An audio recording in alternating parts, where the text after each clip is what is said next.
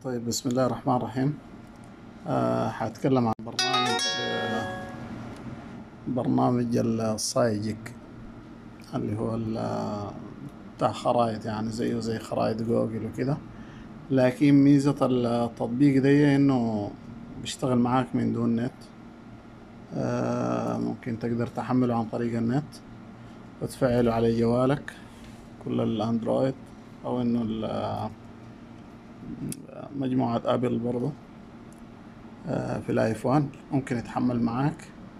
وهو من التطبيقات الملازماني حقيقة في ال- في الموبايل عندي. OK. هتعرف على البرنامج ده يعني حاليا لو أفصل لو أفصل النت بيشتغل من دون نت طبعا. حتى لو إنك في منطقة خلوية. كويس أو في طريق آه، خلوي أو بري. ما في إشارة آه، نت ما في إشارة بتاعت جوال. بيشتغل معاك عن طريق ال GPS من الأقمار الصناعية. OK. فالبرنامج ممتاز جدا يعني.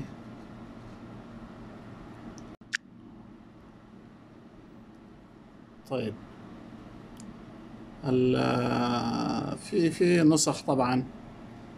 في نسخ منه موجودة في النت الناس ممكن تتعرف عليها وكده.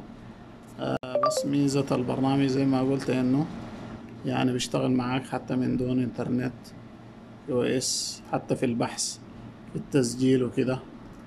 آه، من دون ال- شبكة بيانات الجوال تكون شغالة.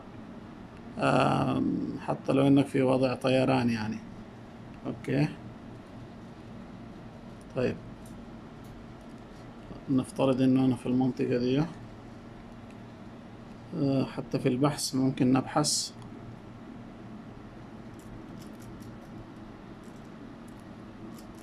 هنبحث مثلا آه، نقطة محددة أنا حاليا في العمل ودي دي المنزل. حصول على الاتجاهات بديك الاتجاهات على طول. أوكي. بديني الاتجاهات لو عايز أبدأ. بوجهني على مساري. حتى لو نقاط أنا حافظها. آه عايز أكنسل. هكنسل من هنا. في ال- البحث ممكن نكتب مثلا مستشفى. مستشفى أو مركز طبي. حتى هو بيديك يعني ال- ال- الحاجات ال- ال- القريبة منك وكده. يعني الكلام ده كله حاليا بدون نت وبدون آه، أي إشارة تانية إلا الإشارة حقت ال GPS فقط يعني. كويس. نشوف المستشفيات. ألاحظ إنه اداني المستشفيات كل المستشفيات القريبة مني. OK. عايز مثلا محطة.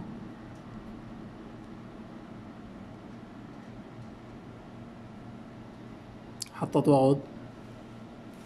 ديني أقرب. عفوا هنا شوية. ممكن ال نرجع نرجع من دي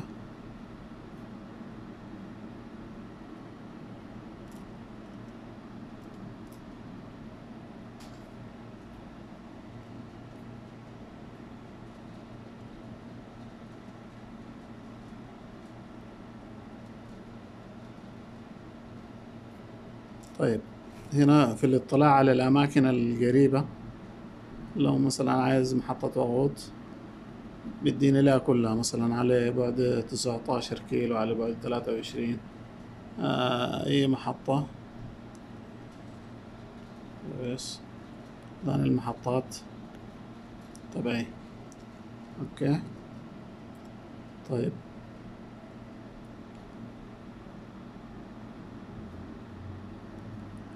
بالنسبة لإعداداته طيب ممكن برضو في التفضيلات الإقليمية الخرائط طبعا ممكن تنزل الخريطة اللي أنت عايزها في الشرق الأوسط آه، في كل قارة آسيا في أفريقيا في أي منطقة في العالم أنت ممكن تنزل.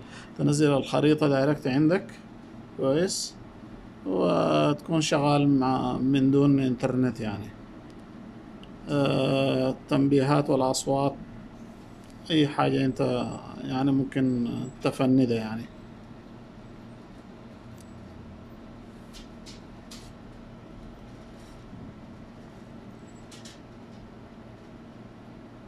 آه، برنامج جميل جدا يعني.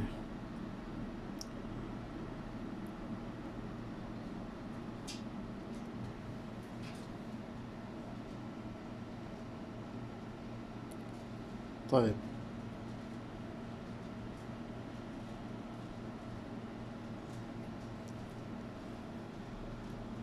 في المفضلة هنا ممكن آه، آه، تحفظ ال- ال- المكان المنزل آه، تعيين لموقع العمل حفظ لحتة معينة برضو ممكن أحفظ لك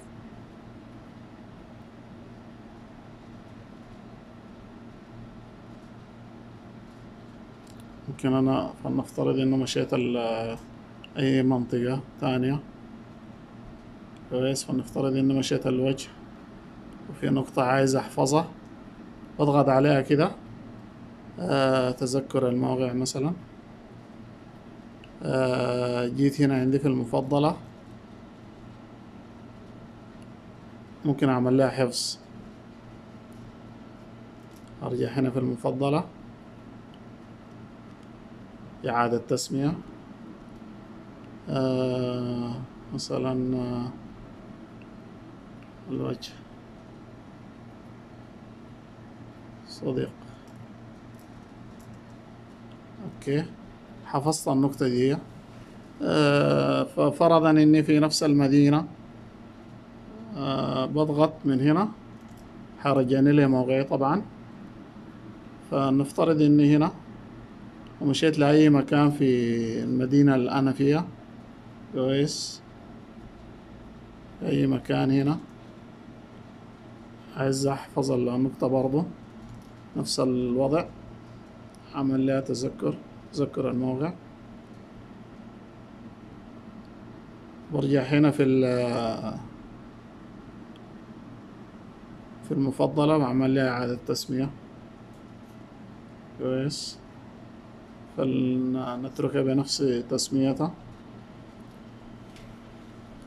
فدي البرنامج حبيت أعرفكم عليه. برنامج جميل جدا يعني. أنا ما لا غنى لي عنه. ما أشتري جوالي إلا وأنزل فيه التطبيق ده. بأي وسيلة لازم أنزل فيه التطبيق ده. لأنه مفيد جدا و يعني بيكفيك شر مشاكل كثيرة جدا يعني. سواء ما عندك إنترنت أو إنه مقطوع في منطقة معينة. أم، يعني بحل لك إشكاليات كبيرة جدا. أه، الداش كام دي طبعا إذا عايز تعمل recording لخط سيرك وكده. الشاشة المثبتة دي برضو عملية جميلة جدا. لو إني متحرك حاليا بيعكس لك ال بيعكس لك ال- ال- ال- ال- السرعة دي. بيعكس ال- الشاشة بتاعت الموبايل على القزاز بتاع السيارة بحيث إنه بتكون آه، ما أنت حامل الجوال في يدك. ما أنت شايل الجوال الموبايل في إيدك وكده ممكن تحطه على على ظهره أمام ال- القزاز حق السيارة زجاج السيارة فبيحكس لك ال بيحكس لك ال- ال- ال- الخط بتاع السير مع التوجيهات الصوتية سرعتك. في تنبيهات برضو من آه، نقاط ال ال ال ال ال ال الكاميرات وكده. دي طريقة دي السبل بتاعة التوجيه يعني لو ضغطنا هنا إني فرضا معكوسة وكده. هنا حاليا طبعا ما في مسار لأني حاليا في المكتب. هنا بطلع منها الداش كام دي ال- الشاشة عرض مثبتة على على السيارة. الأصوات طبعا التحويل لوضع القيادة. حاليا لو تحولت لوضع القيادة شغل ثلاثي الأبعاد يعني. لو عايز تعرض ثنائي عادي برضو. أوكي. التحويل لوضع السير.